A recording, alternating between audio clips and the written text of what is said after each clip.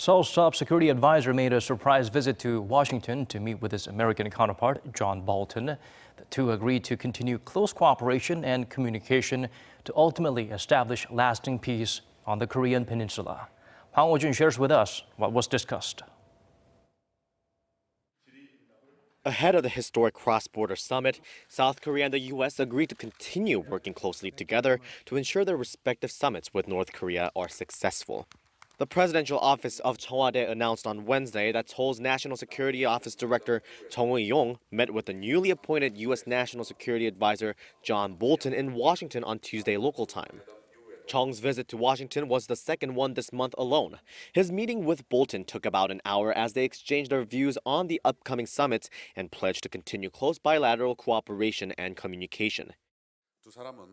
Chung and Bolton agreed that President Moon and President Trump will hold a telephone conversation immediately after the Inter Korean summit and discuss the summit's outcomes. And apparently, there will be more than just a phone call. We can expect the leaders of Seoul and Washington to speak face to face soon after. Chung and Bolton have also agreed to push for a meeting between the two presidents before the US North Korea summit. President Trump has said his meeting with North Korean leader Kim Jong un will likely take place in May or early June. President Moon has said time and time again that success at the Inter-Korean summit must lead to a successful summit between Washington and Pyongyang. That's the way to achieve complete denuclearization and establish lasting peace on the peninsula.